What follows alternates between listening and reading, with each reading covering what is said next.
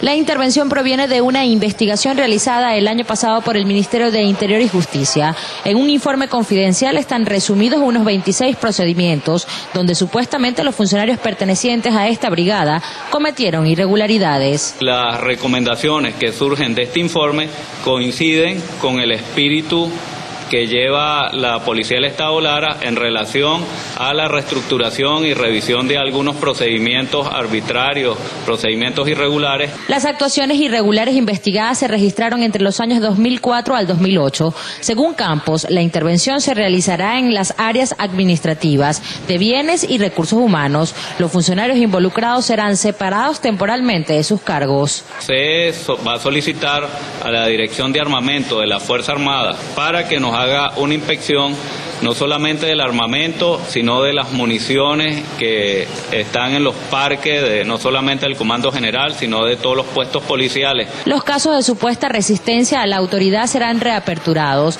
Los resultados de la intervención serán enviados al Ministerio de Interior y Justicia y a la Fiscalía para que también inicien sus averiguaciones. El decreto también prevé que los funcionarios mencionados en el informe sean sometidos a una prueba antidoping. Desde el Estado Lara, Doricel Alvarado, Globo Visión.